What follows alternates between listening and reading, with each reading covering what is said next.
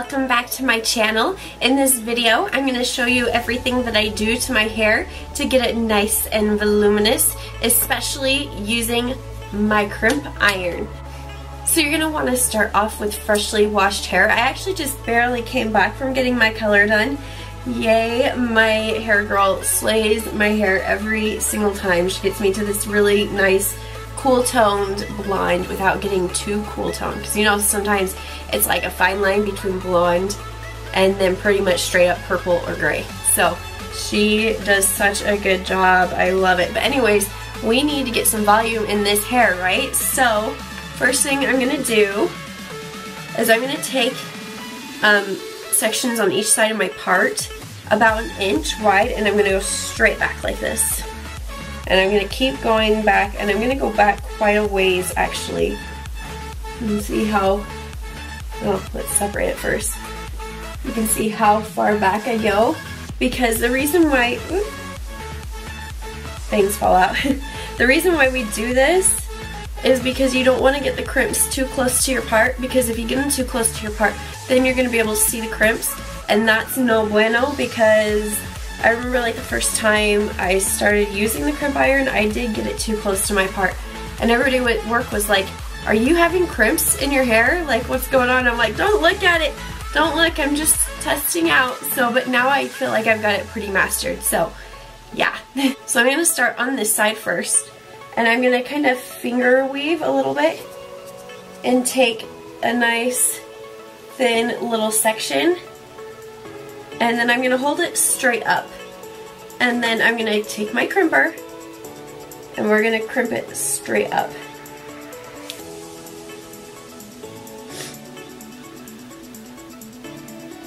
And the reason why I'm crimping it straight up is so that like when it lays down, so there we go, it's nice and crimped. So when it lays down, so like if you were to crimp it in the way that it lays down, the crimps are just to perfectly lay on top of each other. But if you hold it up, it's to kind of offset the crimps a little bit. Hopefully this is kind of making sense. But it's to offset the crimps a little bit. And then it's to create even more volume, which is what we want. So, on to the next section. We're to do the same thing. Hold it straight up and crimp. And from here on down, I like to do two crimps on each piece of hair.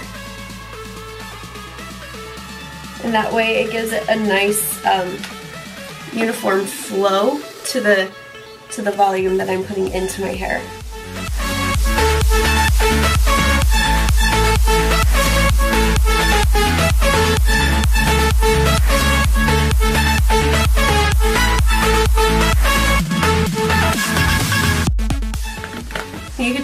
There and just do three sections, but we're gonna make it pretty big today for you. So I'm gonna do four.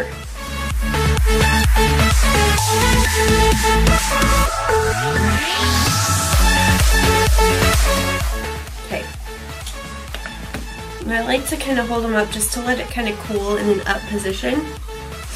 That's just kind of generalized hair knowledge. Like, that's basically what you're doing when you put hot rollers in your hair. So we're gonna just let that sit down and we're just gonna let it cool. So, I mean, hello. Can you see the amount of volume that this size ha this side has as opposed to this side already? Like that's insane and we haven't even like brushed it out or anything. So I'm gonna go ahead and do the next side in the back and I'm gonna probably zoom through this part for you. But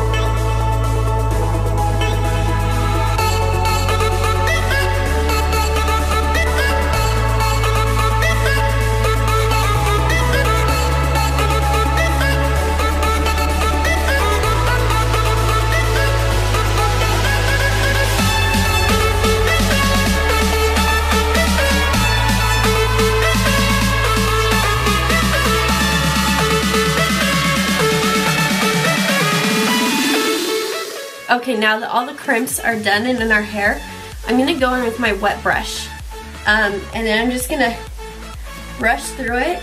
And as you can see, I'm kind of going in like a zigzag motion as I'm brushing through because I really wanna break up those crimps to get the most amount of volume as possible.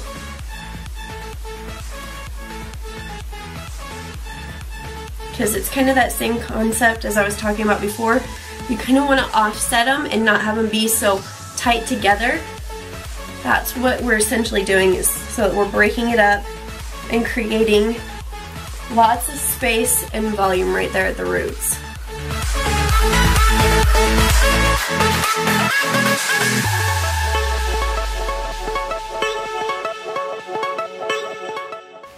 Okay, now we're just gonna clip and put our hair down.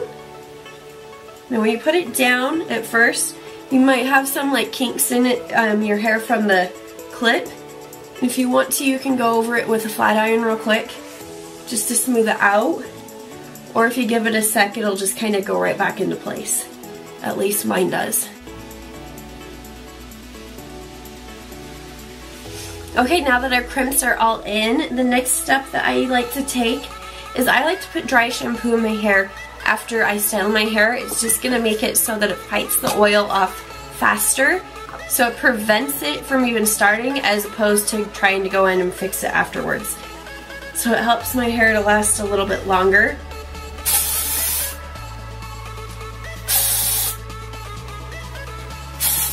And the dry shampoo I use is the Batiste Original. It works great and it has a good price point, so you just can't beat it. And this is gonna help to give the grit, or it's gonna help to give the crimps a little more grip as well.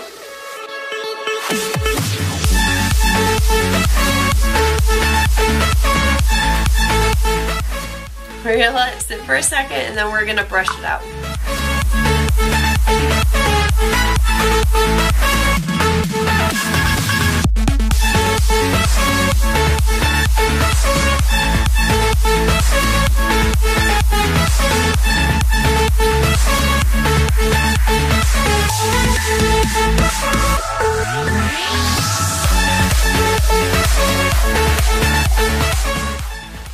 And then sometimes, just because I'm a volume freak, I'll put a couple of teases in right here. And the crimp is going to help the tease to hold place even more. Hopefully you can see this. I'll slouch, slouch down.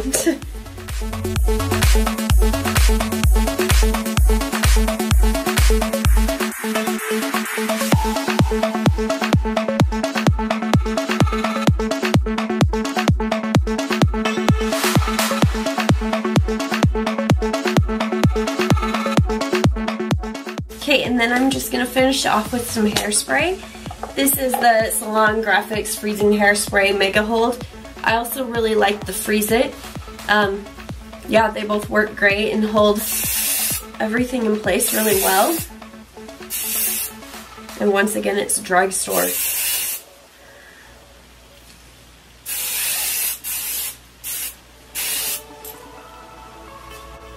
And then the last thing I like to do to finish off my hair is I like to take my Kevin Murphy Shimmer Shine Spray. Uh, the smell is so pretty. I first started using this back when I got married, so it takes me right back to my wedding. Like, I remember this smell and my perfume for my wedding day so perfectly. But we're just gonna shake it up and give a couple of spritzes. Oh, it smells so good. And it's powerful, so you don't need a ton of spritzes with it.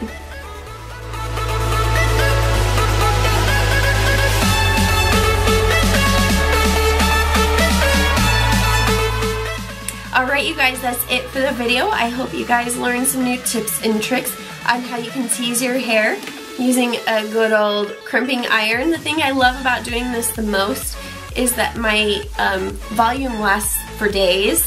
I don't, I'm not putting as much product as my at my roots as I was before by just teasing my hair with my tease um, comb and my hairspray. Um, yeah, like I said, there's less product buildup so it lasts longer. All I have to do is put like more dry shampoo at my roots, brush it out, and it's like boom, it goes right back up to where it was when I first did it, which is amazing so I can go longer without having to wash my hair. So, if you guys like this video, please give it a thumbs up, leave any comments or requests down below, and subscribe, and I will see you in my next video. Bye!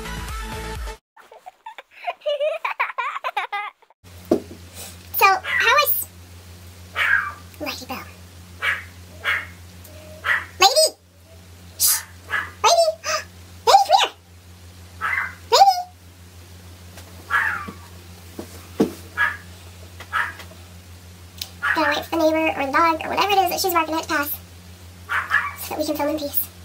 Phew. Gotta love when the pup interrupts you by breaking into the bathroom trash. huh, are you Ding,